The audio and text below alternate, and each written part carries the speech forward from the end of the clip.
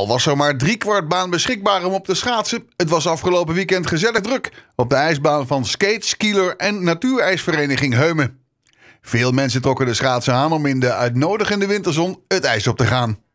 Nou, de opkomst, uh, ja, zoals u ziet, het, het, is een grotendeels veel jeugd. Er zijn ook al heel veel uh, volwassenen geweest. En vaders en moeders zijn er natuurlijk helemaal bij nu. Maar de echte schaatsers, ja, die, die houden niet van een halve baan. En dat is ook heel logisch. Uh, maar de opkomst, geen klachten. We hebben animo al zat gekregen gistermiddag en vandaag ook.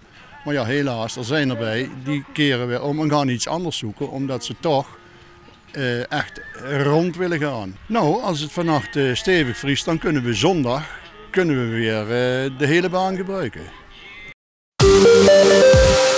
Van zaterdag op zondag is op de Graafse weg een 31-jarige fietser verongelukt als gevolg van een aanrijding met een taxi. De zwaargewonde vrouw uit Nijmegen werd door hulpverleners ter plekke gereanimeerd.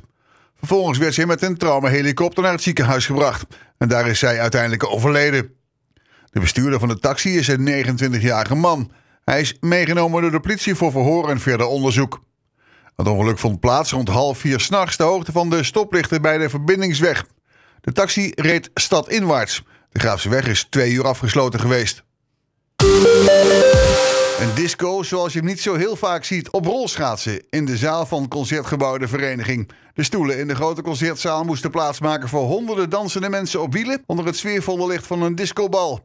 Met rolschaatsen, rollerskates en zelfs een enkel skateboard kon gerold worden in de zaal, die omgetoverd was tot rolschaatsparadijs.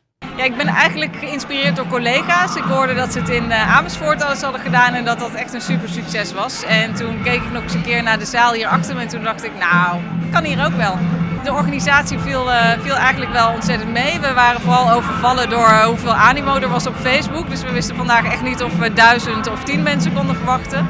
Maar het is lekker druk geworden en we hebben wat extra rolschaatsen in laten vliegen. En ja, dat is het eigenlijk zo'n beetje. We hebben een leuk publiek. Er zijn families met kids. Uh, er zijn wat oudere mensen die uh, in een ver verleden nog wel eens op rolschaatsen hebben gestaan. Er zijn studenten. Het is hier gewoon uh, gezellig.